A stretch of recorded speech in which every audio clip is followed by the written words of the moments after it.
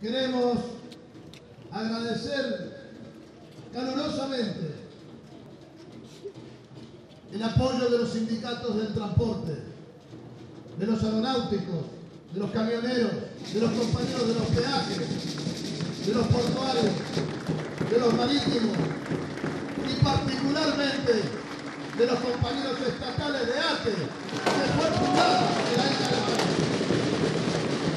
También queremos agradecer la participación concreta de las expresiones populares como Proyecto Sur y las fuerzas de izquierda están acompañando esta asamblea pública en uno de los accesos portuarios del puerto de Buenos Aires.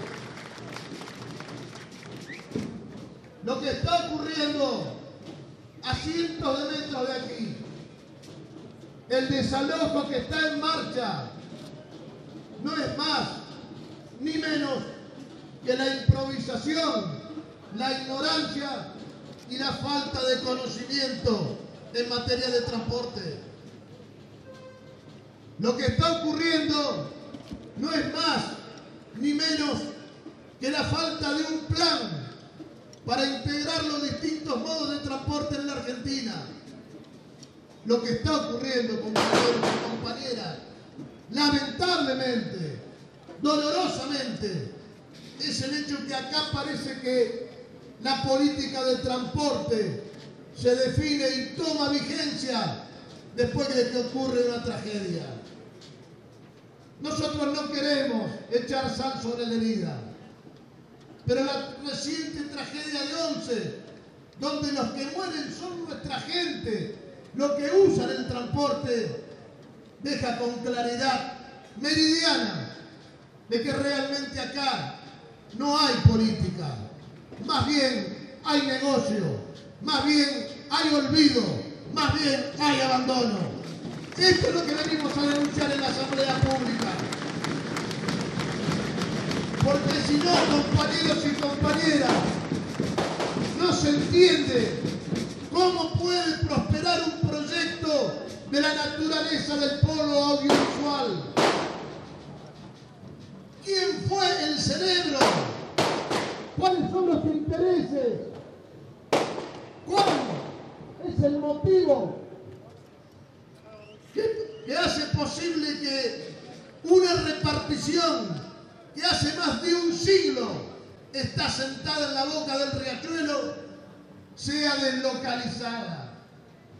Es verdad, hemos tenido reuniones con los funcionarios y lo que realmente necesitan fuera de ese ámbito.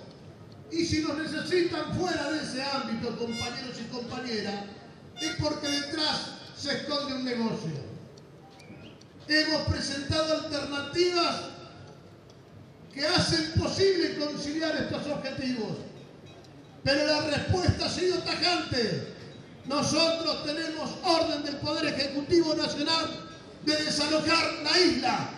Y nosotros en esta Asamblea Pública decimos, además de recurrir ante la justicia, vamos a resistir con las medidas de fuerza y con lo que sea necesario.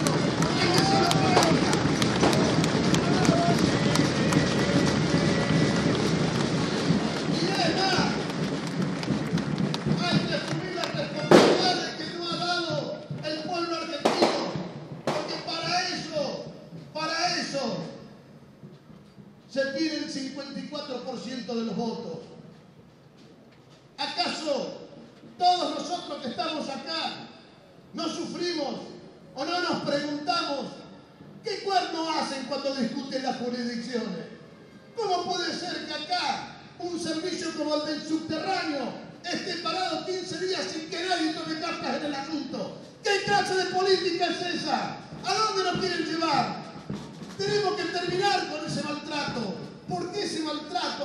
de los que creen algunos funcionarios de gobierno, lo pagan los trabajadores, los que usan los transportes. Así que, en nombre de la Confederación Argentina del Trabajo, pero también en el nombre de todos los compañeros que han hecho una demostración popular que realmente ha superado todas las expectativas, nosotros le decimos que vamos a seguir luchando para que de una vez por todas en este país política de transporte que nos garantice buenos servicios, haya respeto hacia nuestros convenios colectivos de trabajo y podamos construir una Argentina con justicia social.